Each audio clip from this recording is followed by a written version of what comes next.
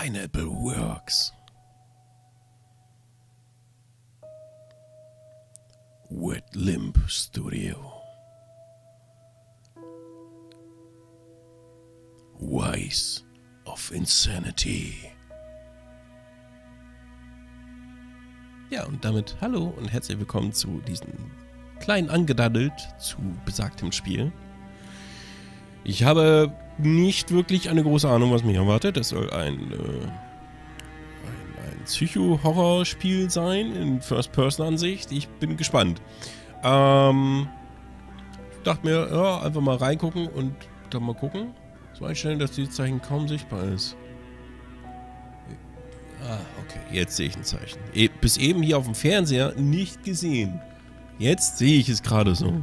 Okay, fortsetzen. Äh, da, da, da, Warum kann ich hier nichts einstellen? Ach, da.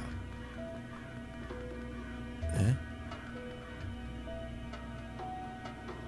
Ähm. Ah, okay.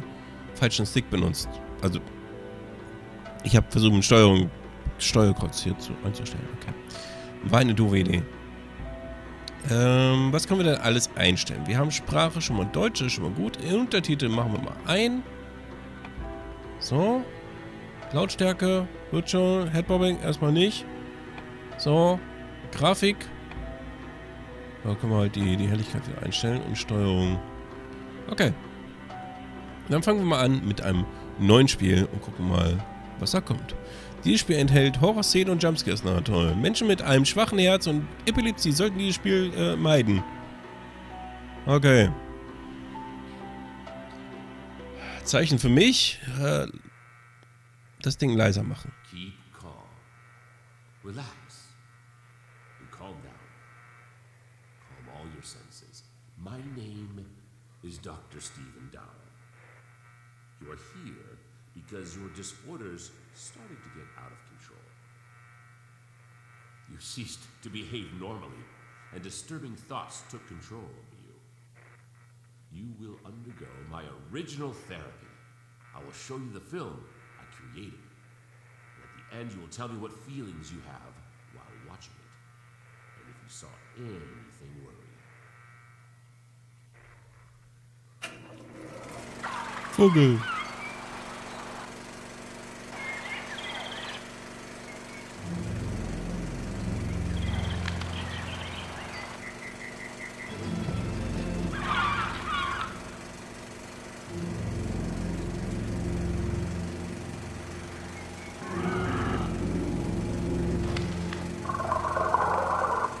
Habe ich so ein gewisses Retro-Feeling. Schwarz-Weiß-Film und.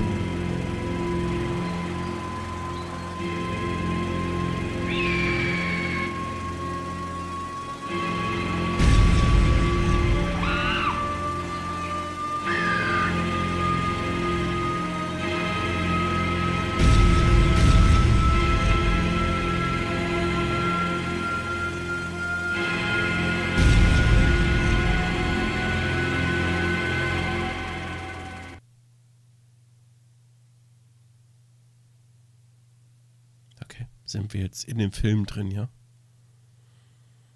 Sagen wir Dracula Hallo. Und den Vögeln.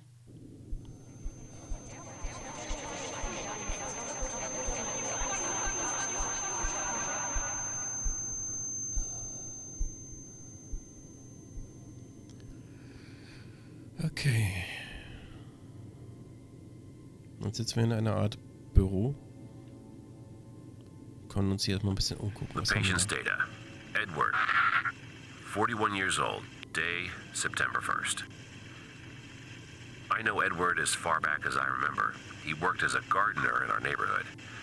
From the preliminary interview, I got to know that he suffers from a dream disorder.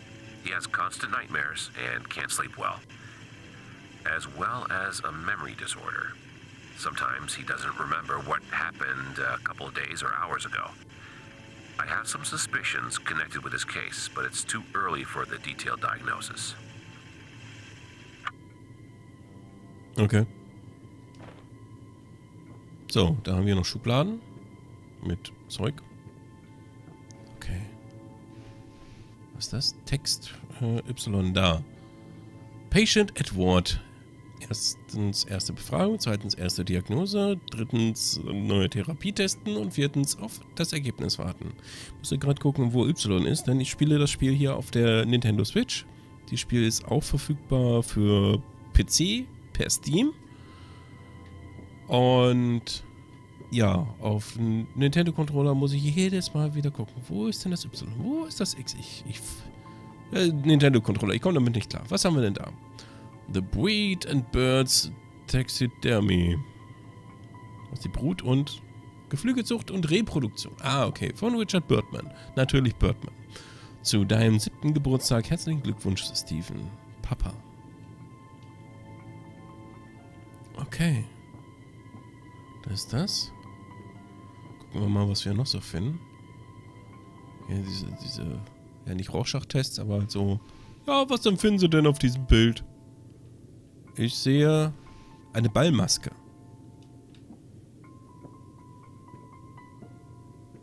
Hier kann ich nichts aufmachen, hier aber. Ball. Passt zur Ballmaske. Ha, ha. Hm. Was ist das? Ein Foto, aber die Augen der Frau sind ausgeschwärzt. Okay. Dann machen wir mal den Schrank auf. Ich habe gerade irgendwie ein Lachen gehört und überall stehen diese, diese Gesichter. Warum? Was hat das zu bedeuten? Ein Quietschhähnchen. Hallo Quietschhähnchen. Das liegt schon ein bisschen länger hier.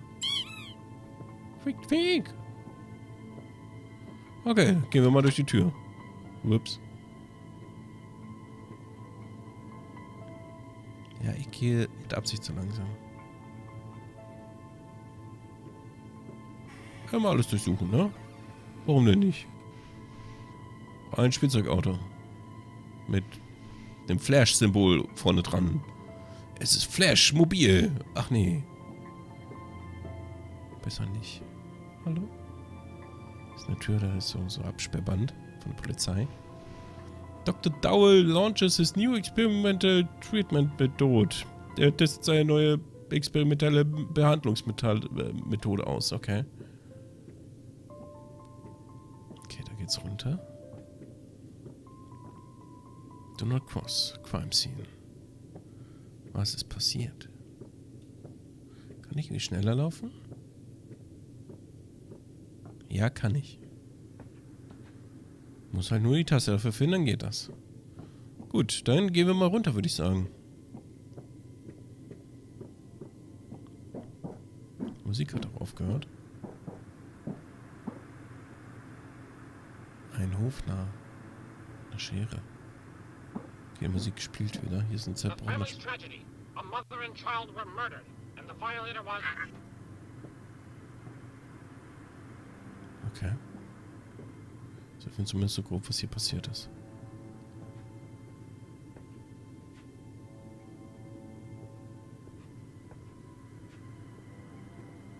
Dann ist halt jetzt nur die Frage, was und wie und warum. Okay, sind Notenblätter drin. Hier auch Madness Symphonie. Die kenne ich nicht.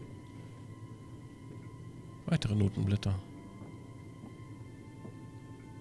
Okay, hier ist das Crime Scene Band durchbrochen quasi. Da ist jemand durchgegangen. Wahrscheinlich unrechtmäßigerweise. Und das ist der einzige Weg, den wir jetzt gehen können. Dann gehen wir da auch mal rein. Hallo?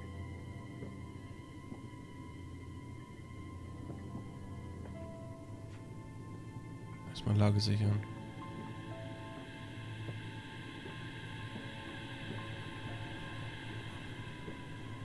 Bisher sehe ich hier nichts. Da ist ein Zettel.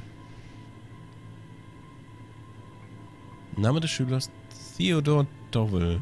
Englisch 2, Mathematik 1, Naturwissenschaften 1, Sport 2, Ethik 1. Unterschrift des Erziehungsberechtigten Su- Susan Dowell. Und Dowell. Okay. Kind und die Mutter war ermordet, ne? Honey, please turn off the TV. It's gonna be stormy. Und das sind jetzt wahrscheinlich noch die Stimmen von der Frau, die ermordet wurde.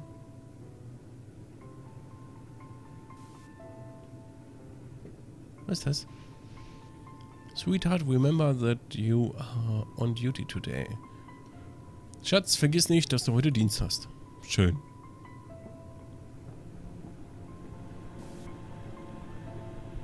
Damals, meiner Zeit, hatte ich immer Dienst. Der Fernseher ist einfach an.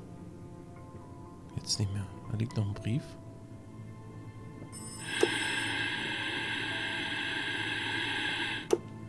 Okay, ich dachte, da wäre halt jetzt noch irgendwas, wenn ich diesen Fernseher wieder anschalte. Das Telefon bimmelt. Was haben wir denn hier? Sehr geehrte Miss, äh, Frau Dowell, Dowell, ich möchte Sie daran erinnern, dass Sie mir freie Hand über einen Teil des Gartens gelassen haben. Da habe ich mich entschieden, dort Dahlien zu pflanzen, die gut zu den Waldreben passen. Ich habe alles mit weißem Mohn umgeben. Es wird Ihnen gefallen, Edward. So, wo bimmelt denn hier das Telefon? Das Telebim. Da. Guten Tag. Möglich.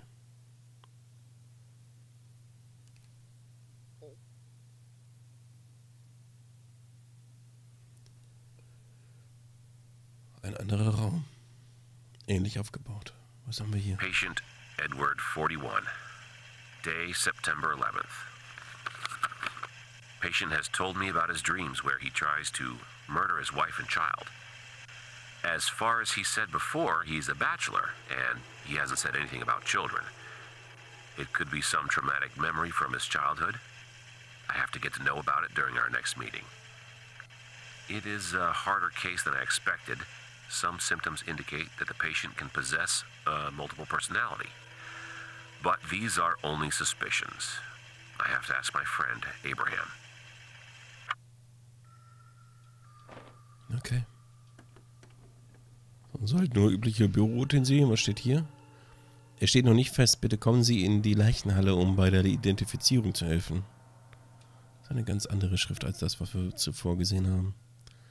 Leichenhalle. Ah, das klingt ja toll. Lieber Abraham, entschuldige, dass ich so lange nicht geschrieben habe. Mir fehlte durch meine Familie und meine Arbeit einfach die Zeit. Ich hoffe, dir geht es gut. Wie geht es deiner Frau Bertha? Ich habe hier einen Fall mit einem Patienten Edward verwischt. Äh, Herr Edward verwischt? Hallo, guten Tag, 41 Jahre alt. Er sagt, er hätte sowohl Schlafprobleme als auch Schwierigkeiten mit seinem Gedächtnis. Ich habe kleine Ticks beobachtet. Manchmal zuckt er abrupt mit dem linken kleinen Finger. Er hat mir von seinem Albtraum erzählt, der ihn beschäftigt. Es ist der einzige Traum, an den er sich erinnert. Er sagt, er versuche dort seine Frau und sein Kind zu töten. Dazu kommt es jedoch nie, da er stets vorher aufwacht. Seltsam ist, dass Edward ein Junggeselle ohne Kinder ist. Was hältst du davon?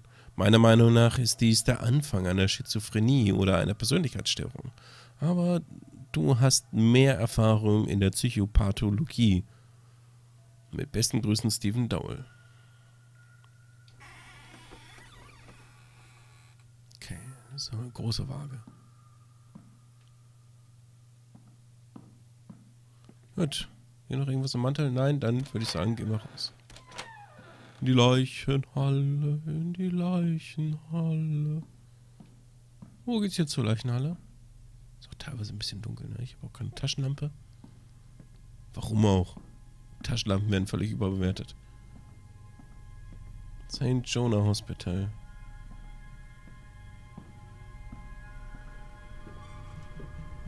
Die Musik zieht an. Ich habe ein ganz mieses Gefühl. Leichenhalle meistens im Keller.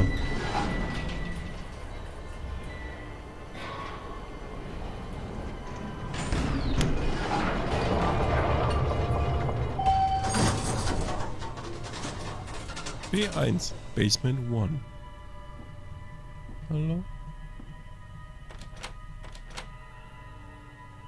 Das ist aber ein langer Gang. Hätte man den hier nicht mehr beleuchten können? Ist das denn zu viel verlangt? Und da läuft er. Kann ich umdrehen und einfach gehen?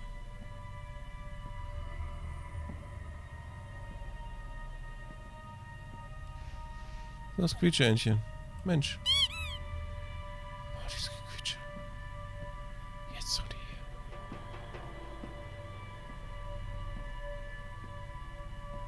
Muss es denn unbedingt jetzt quietschen? Kann es nicht quietschen, wenn wir alle Feierabend haben und alles wieder beleuchtet ist? Da ist Text an der Wand. Und da ist eine Tür. Ein Schlüssel zu ihrem Herzen befindet sich dort, wo deine Reise begann. Hallo?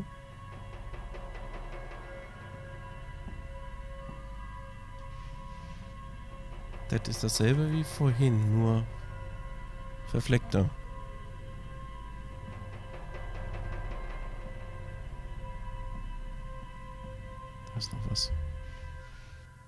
Moin Eisenborn.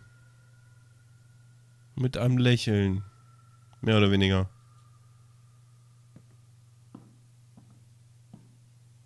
Okay. Drücke A zum Überspringen. Wahrscheinlich einfach zum Beenden, okay. Brauchen wir eine Kombination. Die ich jetzt natürlich nicht habe.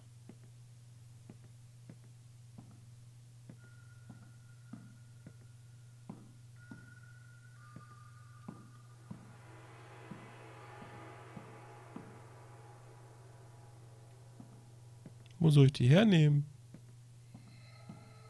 Steht wahrscheinlich irgendwo auffällig an der Wand oder so. Ich weiß auch gar nicht, habe ich hier irgendwie eine Form von Inventar oder so?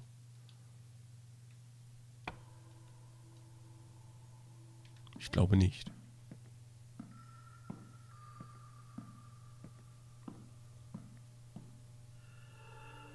Zurückgehen ist ja keine Option, wahrscheinlich. Gucke mal. Ich könnte wahrscheinlich benutzen. Aber.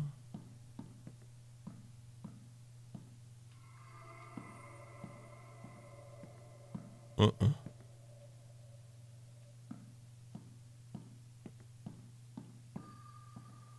Schlüssel zu ihrem Herzen ist, wo deine Reise begann. Wo die Reise begann. Vielleicht dann doch im Büro.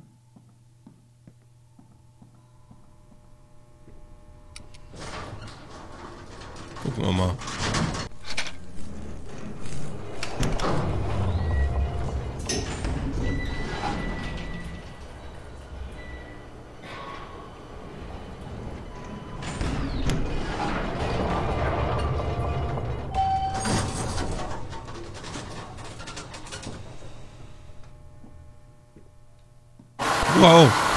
Alter. Puh. Ja, das ist ja, ist ja, ist ja mal voll nichts für mich, ne? Ach, nett, dass die Türen einfach so aufgehen. Das ist ja toll. Okay. Da liegt jetzt ein Zettel. Jemand war hier.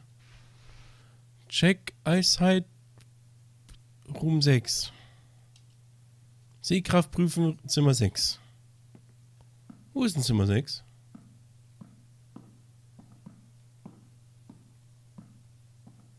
Sind die irgendwie nummeriert? Of Psychology. Da ist Zimmer 6. Dann gehen wir doch mal da rein. Tag, einmal Sehtest, wo ich immer durchfalle. Ist aber auch ordentlich hier. Also eigentlich eher nicht. Was haben wir denn da? Mother and seven-year-old son murdered.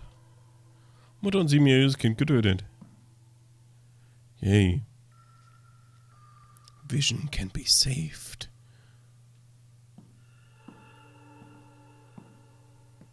Sechs zwei neun. Okay. Sechs zwei neun.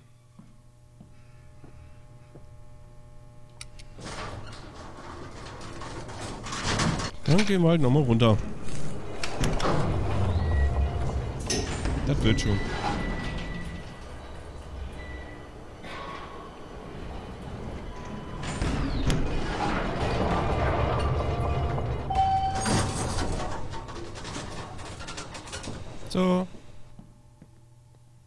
Passiert jetzt ja auch nochmal was, während ich halt hier lang gehe? Ich, ich will da gar nicht hingucken. Ich will das gar nicht wissen. Da hinten ist auf jeden Fall kein Licht. Doch, jetzt ist da wieder Licht. Okay.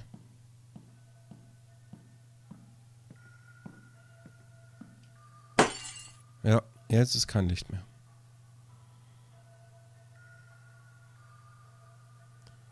So, hier ist eine 2.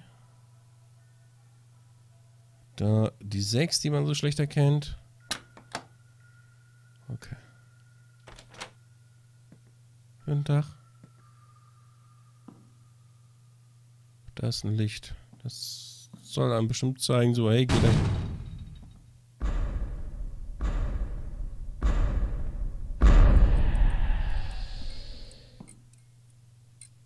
Na, das ist ja toll. Was liegt denn da? Keine Ähnlichkeit. Okay.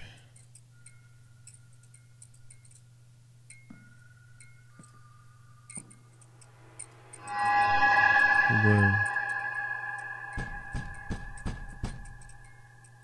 Okay. Die Leiche ist verschwunden. Es hat geklopft. Ja, dann machen wir mal auf, ne? Äh, hallo.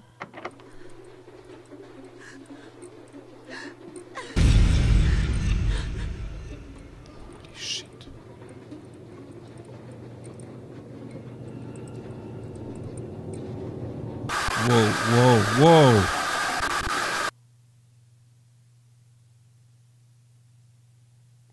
Okay. Ja. So viel dann dazu. Alles dreht sich irgendwie um Vögel.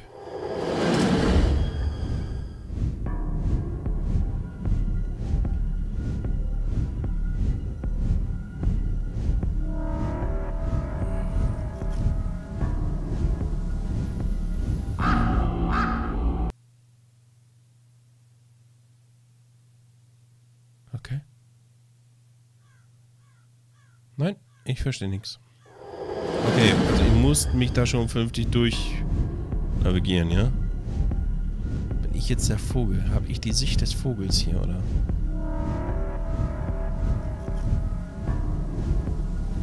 Wie darf ich das verstehen?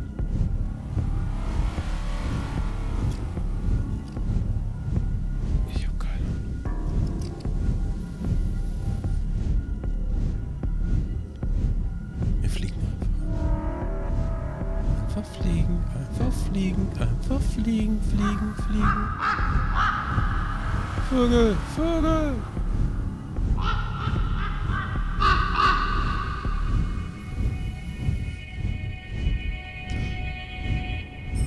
Was immer das für ein Ausgang sein soll. Ein Teflon.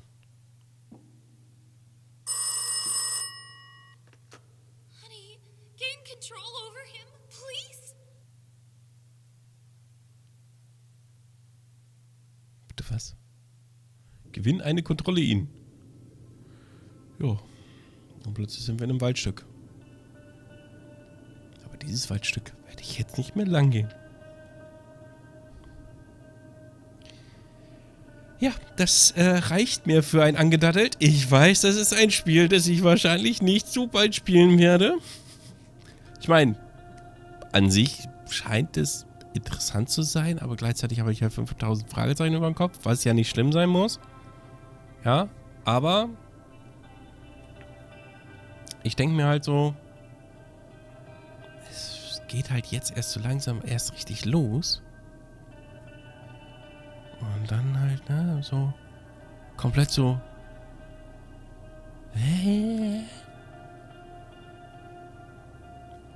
Und da ich zu viel Schiss habe, weiter zu spielen, beende ich das hier einfach. Und bedanke mich bei euch für Zuschauen. Wenn ihr Interesse habt, dieses äh, Horrorspiel selber zu spielen, Links dazu sind in der Videobeschreibung. Und ähm, ja, ich würde sagen, man hört und stört sich dann zum nächsten Angedattelt. Und ähm, ja. Ich hoffe, ihr habt äh, genug trockene Hosen. Ich auch, aber jetzt nicht gerade neben mir. Ja, Spaß beiseite. Ne, aber ich bin ja immer kein Fan von irgendwelchen Jumpscare-Dingern. Muss ich ganz offen sagen. Ich finde das manchmal ganz furchtbar. Aber gut. Ich hoffe, euch hat es dennoch irgendwie gefallen oder es hat irgendwie Geschmack halt drauf gemacht. Ob ich das Spiel jemals zu Ende spielen werde, ich habe keine Ahnung. Aber mal gucken. Bis dahin, viel Spaß noch, vielen Dank fürs Zuschauen und bis denne.